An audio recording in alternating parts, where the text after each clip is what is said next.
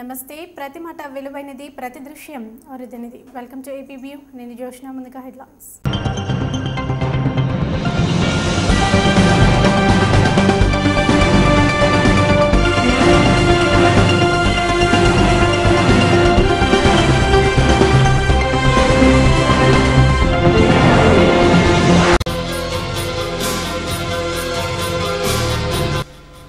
దిగిరానున్న petrol ధరలు పెరగనున్న diesel rates.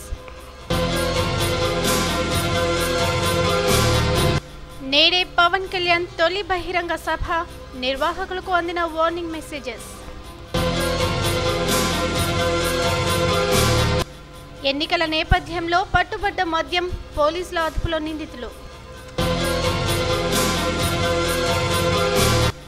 Kiran Kumar రెడ్డిపై చిరంజీవి సెటైర్లు ఆ అర్హత లేదంటున్న సబ్బం హరి. పుట్టినరోజు వేడుకల్లో రామ్ చరణ్ రక్తదాన శిబిరం వద్ద అభిమానుల తాకిడి. పెట్రోల్ ధర లీటర్కు రూపాయి నుండి రెండు రూపాయల వరకు తగ్గే అవకాశం ఉంది. డాలర్తో రూపాయి మారక విలువ పెరగడం అంతర్జాతీయంగా చమురు ధరలు తగ్గడంతో మన దేశంలో కూడా పెట్రోల్ ధర తగ్గనుంది. అయితే డీజిల్ ధర మాత్రం ఎప్పటిలాగే యాభై పైసలు పెరగనుంది. ప్రభుత్వ ఆధ్వర్యంలో చమురు సంస్థలు పెట్రోల్ డీజిల్ ధరలను ఈ నెల ముప్పై ఒకటిన సవరించనున్నాయి. ప్రస్తుతం డాలర్తో రూపాయి మారకం విలువ అరవై ఒక్క రూపాయి నలభై నాలుగు పైసల నుంచి అరవై రూపాయల యాభై పైసలకు పెరిగింది. అదే సమయంలో అంతర్జాతీయంగా బ్యారెల్ చమురు ధర నూట పద్దెనిమిది రూపాయల తొమ్మిది డాలర్ల నుంచి నూట పదిహేను పాయింట్ డెబ్బై మూడు డాలర్లకు తగ్గింది. దీంతో ఈ మేరకు పెట్రోల్ ధర తగ్గనుందని సంబంధిత వర్గాలు వెల్లడించాయి. డీజిల్ విక్రయాలపై వస్తున్న నష్టాలు పూర్తిగా తొలగిపోయే వరకు ప్రతి నెల నలభై పైసల నుంచి యాభై పైసల మేర ధర పెంచుకునేందుకు చమురు సంస్థలకు వెసులుబాటు కల్పించిన విషయం విదితమే. చమురు సంస్థలు ఎప్పటిలాగే పెట్రోల్ డీజిల్ ధరలను సవరించుకోవచ్చని కేంద్ర ఎన్నికల కమిషన్ స్పష్టం చేసింది.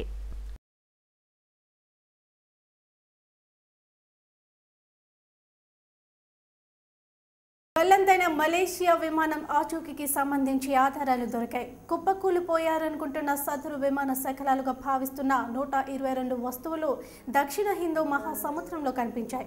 ఫ్రాన్స్ ఉపగ్రహం వీటిని గుర్తించి ఫోటోలు తీసింది.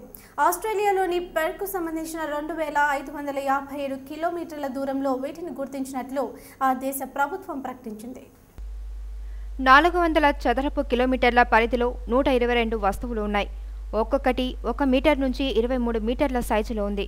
కొన్ని ప్రకాశవంతంగా కనిపిస్తూ ఉండటంతో అవి దృఢ పదార్థాలతో తయారై ఉండవచ్చని భావిస్తున్నారు. ఇవి ఇది వరకు చైనా ఆస్ట్రేలియాలు శకలాలుగా భావిస్తున్న వస్తువులను గుర్తించిన చోటికి సమీపంలోనే ఉన్నాయి. ఇవి బోయింగ్ అని భావించవచ్చు కానీ ఖచ్చితంగా చెప్పలేం. నిర్ధారణ అయ్యాక తర్వాతి దశ గాలింపు మొదలు పెడతాం అని వివరించింది. మరోపక్క శకలాల కోసం గాలిస్తున్న విమానాలకు నీలిరంగు వస్తువు సహా మూడు వస్తువులు కనిపించాయి.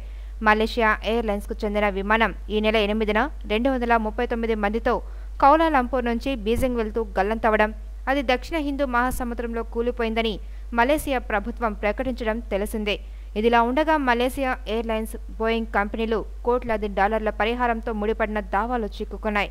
ఈ విమానం డిజైన్ కూలిపోయేందుకు దారితీసిన లోపాల వివరాలన్నీ షికాగోలోని ఒక లా సంస్థ కోర్టులో పిటిషన్ వేసింది.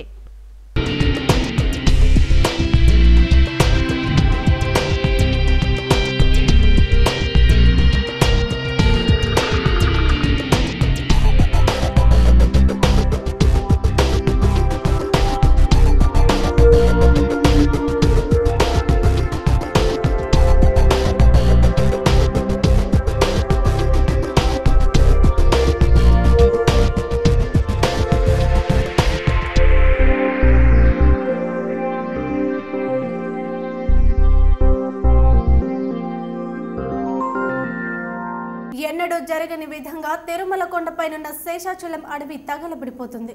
మొదట్లో చెలరేగిన కార్చిచ్చును ఆర్పివేయడానికి హెలికాప్టర్లు కూడా రంగంలోకి దిగిన సంగతి తెలిసిందే. ఈరోజు మళ్ళీ తిరుమల కొండపై కార్చిచ్చు చెలరేగింది. పాపనాశనం దగ్గరున్న వేణుగోపాల స్వామి ఆలయం సమీపంలోని అడవి తగలబడిపోతుంది.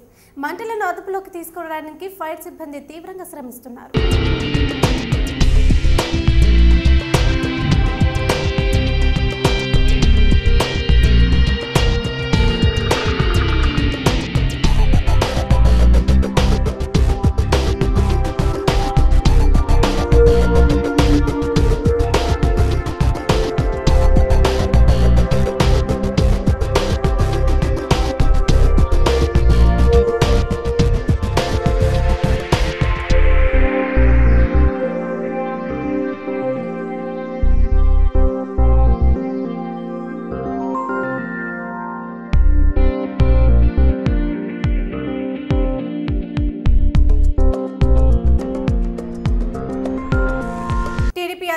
చంద్రబాబు నాయుడుపై వైఎస్ఆర్సీపీ అధినేత జగన్ విరుచుకుపడ్డారు. ఆయన పాలన తలుచుకుంటేనే భయమేస్తుందని అన్నారు. చంద్రబాబు మళ్ళీ అబద్ధాలు మొదలు పెట్టారని వ్యాఖ్యానించారు. ఉద్యోగాలు ఇస్తానని మభ్యపెడుతున్నారని మండిపడ్డారు. బుధవారం విశాఖ జిల్లా యలమంచిలిలో జరిగిన జనభేరి రోడ్ షోలో జగన్ ఈ వ్యాఖ్యలు చేశారు. గా ఉన్న కేంద్ర ప్రభుత్వమే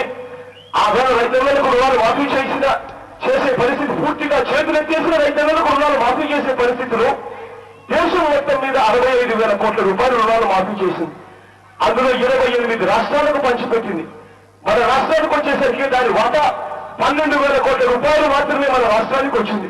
అంటే ఒక కేంద్ర ప్రభుత్వమే ఏకంగా ఇరవై ఎనిమిది రాష్ట్రాలకు రుణాలు మాఫీ చేస్తే అందులో మన రాష్ట్రం వాటా కేవలం పన్నెండు వేల కోట్ల రూపాయలు వస్తే చంద్రబాబు నాయుడు గారు ఇవాళ కేంద్ర ప్రభుత్వం మనకన్నా పదింతలు ఎక్కువ బడ్జెట్లో ఉన్న కేంద్ర ప్రభుత్వం చేయలేనిది మన మన బడ్జెట్ లక్ష ఇరవై ఐదు వేల కోట్లుంటే దానికన్నా ఇంకా ఇరవై ఐదు వేల కోట్లు ఎక్కువగా ఉండి లక్షన్నర కోట్ల రూపాయలు రుణం మాఫీ చేస్తాను అని చెప్పి పట్ట పగలు అబద్ధాలాడుతూ మోసం చేస్తూ ఉంటే అసలు ఈ మనిషి మనిషేనా అని చెప్పి నేను ఇవాళ అడుగుతున్నా. ఇదే చంద్రబాబు నాయుడు గారు ఈ మధ్య కాలంలోనే ఇంకొక హామీ కూడా చేశాడు ఆ హామీ అయితే ఇంటింటికి ఒక ఉద్యోగం ఇస్తారు అని హామీ ఇచ్చారు. నేను ఇవాళ ఒక మాట అడగదలుచుకున్నా ఇదే చంద్రబాబు నాయుడు గారికి ఇంటింటికి ఒక ఉద్యోగం ఇస్తానన్నారు. ఇదే చంద్రబాబు నాయుడు గారు ముఖ్యమంత్రిగా ఉన్నప్పుడు యాభై నాలుగు ప్రభుత్వ సంస్థలను మూసేయించి ఇరవై ఒక్క వేల మంది ఉద్యోగస్తులను నడి రోడ్డు మీద నిలబెట్టింది ఈ వ్యక్తి కాదా అని చెప్పి నేను అడగదలుచుకున్నా. ఇదే చంద్రబాబు నాయుడు గారిని అడగదలుచుకున్నా ఎన్నికలు వచ్చినప్పుడు ఇంటింటికి ఒక ఉద్యోగం అన్నావు. ఇదే చంద్రబాబు నాయుడు గారిని అడుగుతున్నా. అసలు ఈ రాష్ట్రంలో ఎన్ని ఇల్లులు ఉన్నాయో నీకు తెలుసా చంద్రబాబు నాయుడు గారు అని చెప్పి నేను చంద్రబాబు నాయుడు గారిని అడగదలుచుకున్నా. కారణం ఇవాళ మన రాష్ట్రంలో మూడున్నర కోట్ల ఇల్లులు ఇవాళ మన రాష్ట్రంలో ఉన్న పరిస్థితుల్లో చంద్రబాబు నాయుడు గారు ఇంటింటికి ఒక ఉద్యోగం ఇస్తారంటాడు. కారణం ఇవాళ రాష్ట్రంలో అరవై ఏళ్ళైంది మనకు స్వతంత్రం వచ్చి. ఈ అరవై ఏళ్ళలో మన రాష్ట్రంలో మొత్తం ఉద్యోగస్తులు అంతా కలిపితే ఎంతమంది ఉన్నారో తెలుసా? మొత్తం రాష్ట్రంలో జనసేన నిర్వహించ తలపెట్టిన తొలి బహిరంగ సభ విశాఖపట్నంలో ఈ రోజు జరగనుంది. సభ నిర్వహణకు సంబంధించిన ఏర్పాట్లన్నీ పూర్తయ్యాయి. ఈ సభలో ఆ పార్టీ అధ్యక్షుడు పవన్ కళ్యాణ్ భవిష్యత్తు కార్యాచరణను ప్రకటించనున్నారు. ఇటీవలే భారతీయ జనతా పార్టీ ప్రధాని అభ్యర్థి నరేంద్ర మోడీని కలిసి మద్దతు ప్రకటించిన పవన్ కళ్యాణ్ అలా చేయాల్సి రావడానికి గల కారణాలను వివరించనున్నారు. మోడీ ప్రధాని అయితేనే తెలంగాణ ఆంధ్రప్రదేశ్ రెండు రాష్ట్రాలు అభివృద్ధి చెందుతాయని చెప్పొచ్చని తెలుస్తోంది. టీడీపీతోనూ కలిసి పనిచేసేందుకు ఆయన సిద్ధంగా ఉన్నట్లు ప్రచారం జరుగుతున్న నేపథ్యంలో ఆ పార్టీతో అనుసరించబోయే విధానాన్ని వెల్లడించే అవకాశం ఉంది. జనసేన పార్టీ ఏర్పాటు ప్రకటన సందర్భంగా ఈ ఎన్నికల్లో పోటీ చేస్తాడో లేదో చెప్పలేనన్న ఆయన ఇప్పుడు పోటీ చేయనని సభలో ప్రకటించే అవకాశం ఉన్నట్టు సమాచారం. సాయంత్రం నాలుగు గంటలకు ఇందిరా ప్రియదర్శిని స్టేడియంలో సాంస్కృతిక కార్యక్రమాలతో సభ ప్రారంభమవుతుంది. అనంతరం ఆరు గంటలకు పవన్ ప్రసంగం ప్రారంభమై రెండు గంటల పాటు కొనసాగుతుందని నిర్వాహకులు తెలిపారు. జనసేన ఆవిర్భావ లక్ష్యాలను వివరిస్తూ ఆయన రాసిన ఇజం పుస్తకాన్ని ఈ సందర్భంగా ఆవిష్కరించనున్నారు. పుస్తకం రచనకు తనకు తోడ్పాటును అందించిన రాజు రవితేజను కూడా ఈ సభ వేదికపై పరిచయం చేస్తారని తెలుస్తుంది. యువతను దృష్టిలో పెట్టుకొని ఆయన ప్రసంగం ఉంటుందని భావిస్తున్నారు. ప్రధానంగా ఈ సభకు యువకులు విద్యార్థులు భారీ సంఖ్యలో హాజరయ్యేలా నిర్వాహకులు ప్రచారం చేపట్టారు. నుంచి కూడా ఎవరికి పదవులను కానీ పార్టీ నుంచి కానీ ఎవరికి పదవులు కానీ అవార్డు లేవు అందరం అభిమానులుగా కార్యకర్తలుగానే చేస్తున్నాం. Fight youth for nation fight for nation అనే స్లోగన్తో బహిరంగ సభకి మొత్తం యువతనే మాట్లాడే విధంగా ఆయన టార్గెట్ చేస్తున్నారు. స్టూడెంట్స్ మెయిన్గా ఇక్కడ సభ ఎంతమందికి అయితే ఏర్పాటు చేస్తాం అంతమంది కూడా మేము వైజాగ్లో ఉన్న చుట్టుపక్కల మొత్తం అన్ని అన్ని కాలేజ్ నుంచి కలెక్ట్ చేస్తున్నామండి. మనకి గర్ల్స్ మొత్తం అందరూ మనకి ఎలాంటి ఇప్పుడు గర్ల్స్ కోసం సపరేట్ గ్యాలరీ పెట్టామండి. సపరేట్ ఎంట్రీ అయినా సరే సపరేట్ గ్యాలరీ అనేది గర్ల్స్కి ఉంటుంది. సో ఈ విషయం మేము మెయిన్గా హైలైట్ చేయడం తెలుసుకున్నామండి.